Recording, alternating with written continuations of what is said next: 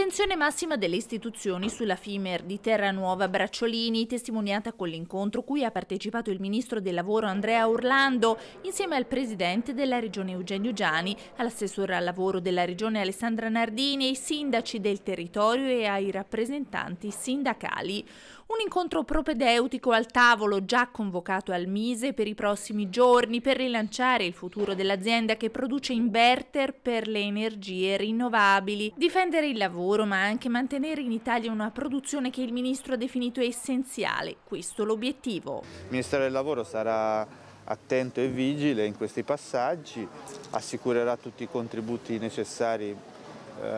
per azioni di rilancio, eh, per eventuali investitori che vogliono andare in questa direzione e contemporaneamente manifesterà grande attenzione affinché non ci siano eh, misure che possano ridurre la capacità produttiva occupazionale, tanto più in un settore che ha una valenza strategica per il nostro Paese, in un momento in cui si investe fortemente sulla transizione ecologica e nel quale il nostro Paese deve colmare un ritardo, un gap, un deficit che nel corso degli anni si è determinato rispetto ad altri paesi proprio